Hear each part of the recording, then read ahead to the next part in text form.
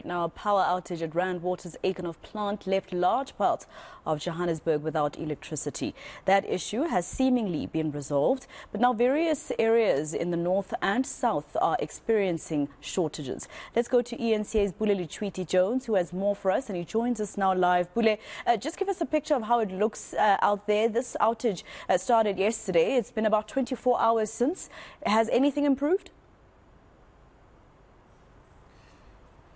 Well, I've just received a couple of messages uh, from ward councillors as well saying in other areas um, there has been water that's been restored, but in other areas like uh, you know Krugersdorp, CBD, uh, I've been to uh, of course also Lenasia and other parts of um, Kagiso as well. The water hasn't been restored, and of course uh, vast areas remain without running water. Um, and this has been a concern even before City Power announced um, that issues at the Eikenhof plant would um, affect the water supply to various areas as well. Um, City Power also saying that they are trying by all means to restore the power to ensure that it does not affect the kind of water operations that are necessary because it's important that you know residents uh, keep hydrated, that they practice uh, normal and of course accurate hygiene practices. Currently, because we find ourselves in a middle or an environment whereby we're in the middle of a cholera um, outbreak as well, so it will be important um, for residents to try and pra- practice those hygiene measures to ensure that they are not affected with the cholera um, incidences as well or diseases. Um, I speak to the residents now in Krugersdorp who are just going to chat to us and vent about their frustrations as well. Mr. George, thank you very much for chatting to us uh, uh, this morning. How is this affecting you, the issue of water not being in your residence, in Yeah. your area? Yeah, Mr. Pule, this really affects us because of each and every morning when we wake up, we don't have water. We have to take our children to school. So you just just wonder taking uh, your kids to school without bathing. Even myself, you know, I'm in a, hair- a hairstylist whereby I'm gonna work with people. Uh, how am I gonna go into people being an, an hygienic? Mm. You know, and there's a lot of cholera. We need the water, you know, to wash our hands. We can't, we can't because of you know we don't have water. Mm. How so? How can we live without water in our area? You know, taking my kids to, to, to, to a school where he didn't bath, you know, it, it, it, had, it had so bad, mm. you know.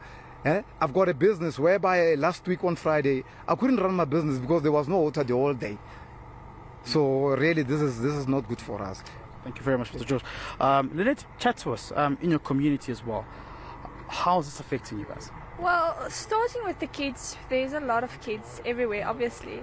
If there's no water, firstly, we can't bathe them, we can't flush the toilets, we can't wash their hands, and even if you wash their hands, you, there's always a concern is the water clean enough? Is the water good enough? Because every second day you hear, no, there's a burst pipe, there's a burst pipe, there's a burst pipe, and it, it's very difficult because even in the evenings, you can't cook, you can't bathe your children, you can't flush the toilets, and it, it it's getting to us as residents because even with when you have a little baby you have to like boil water and make a bottle if there's no water how can you make a bottle for them And how long does the water, you know, uh, how is it, the outage sometimes, how long do they persist for? sometimes it goes for days maybe a day maybe two days and sometimes there's three days but it, it gets difficult especially when you do have small children i mean i've got small children and to make food in the evening you kind of need water to cook most of the time Thank you very much, Lynette, for speaking to us. Uh, Councillor,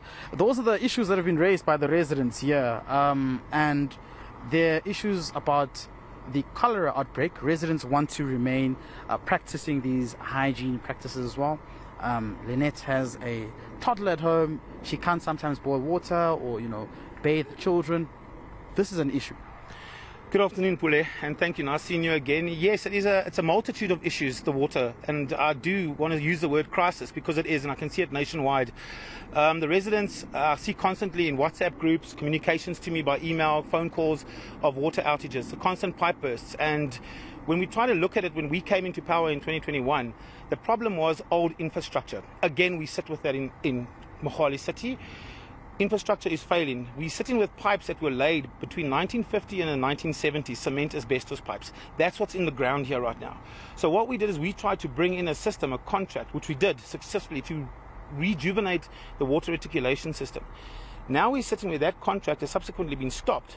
And we realized this. Why is the new leadership not realizing that the infrastructure needs to be replaced. And nothing's going to change for instance, in December, we had 13, between 13 and 18 burst pipes just in this Ward 20, the CBD in Mogale City, which is shocking. And now we sit with issues of um, trying to get them the pipes replaced and resolved. But when we said no, there's no budget. Uh, we try and do other projects. There's no budget because of all the spending costs in replacing pipes. Where it will just take a simple project to get these old pipes rejuvenated. So again, it's neglected infrastructure. And now who suffers at the end of the day? The community. And like residents are saying, like you can say what George said with the cholera, it's an irony. The government's telling us to wash our hands, bath, hygiene, keep clean, yet there's no water.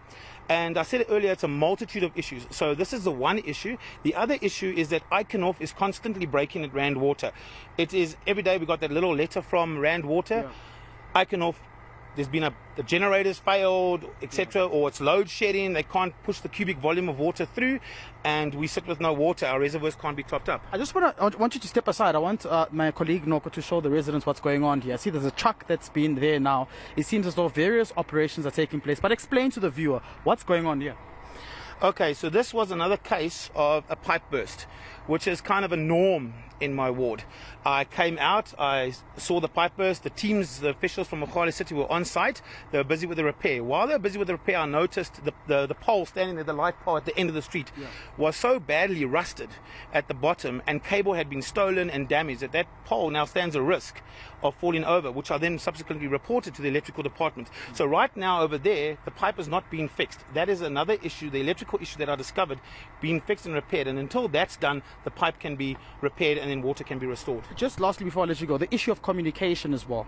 How's that? Uh, are you happy with the communication? Residents, some some residents are saying, look, we cannot go on social media. We don't. We have load shedding, so communication is down as well from Rand Water or City Power or City or Joburg Water. How's the communication?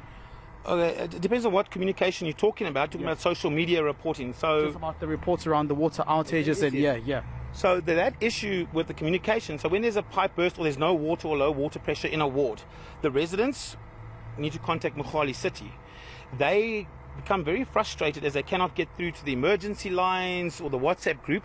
They they're then forced to contact councillors and ask councillors to please try and escalate it, and then councillors are then trying to contact the departments to attend. So it always has to be an escalation. It can never just be a simple thing of a service delivery of the resident who has the right to say, This is the issue in my street or my ward, please can you assist? And they come out. It always has to get to a point where community is angry, frustrated, and having to come out and fight with ward councillors to then come out to resolve issues and then get it. So the communication is poor mm. at best. Clearly, it is a big problem. Thank you very much for joining us, Mr. Trump, councillor in Ward 20 here, Krugersdorp CBD Masego. Also, one of those that have been affected um, as a result of the Eikenhof plant, um, you know, experiencing numerous challenges.